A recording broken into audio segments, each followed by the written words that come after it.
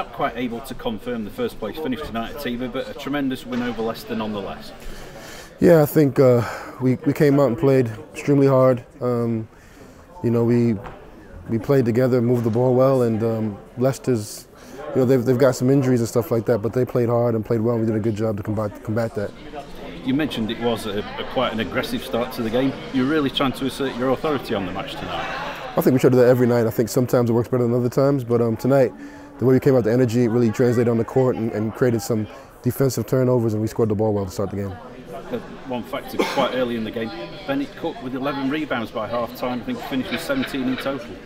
Yeah, Bennett was, um, you know, they've got a real big body down there too, and um, he did a good job of just banging and, and kind of um, keeping them off of getting position and scoring easy baskets, and that's what we asked him to do. So Bennett played a great game tonight.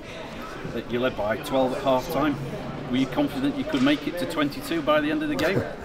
you know, with Leicester, you got to respect that they're going to make a push, they're going to make a comeback. Rob has them two trained up, and those guys know how to win. Um, I thought we weathered the storm really well. Uh, I was pleased with that effort. I think we maybe could have won by 22, but also they could have really cut the lead back down. So um, nothing away from them. It's a, it's a great game. Uh, in the third quarter, um, the Sharks outscored Leicester by 23 points to 10. Keeping Leicester to 10 in the quarter doesn't happen very often, does it? No, no. I think testament to these guys. They, they, you know, they came ready to play tonight, and um, you know, I think we really like playing in our home home venue, like to play in front of the home crowd, and you can see every time we play here, we uh, have a different level of step in our in our step. You've still got that chance to confirm top spot in Glasgow next. week. What are your thoughts on that? We're going to go out there and play to win. Um, you know, whatever happens, happens. We, have put ourselves in a great position so far. We're going to just keep doing what we're doing. We seem to say this every week, but uh, what performance from Nick Lewis tonight? 29 points, 5 rebounds, 2 assists and 4 steals. Um, he just seems to get better and better.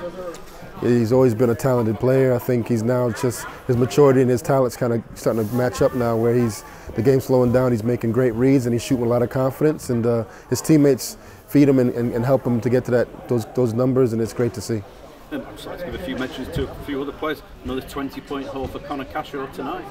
Yeah, Connor's again slowly getting his rhythm. He's a rookie, but he, you know, the way he plays and moves, sometimes you might think he's got some years of experience, but he's definitely getting his footing overseas and in, in the BBL.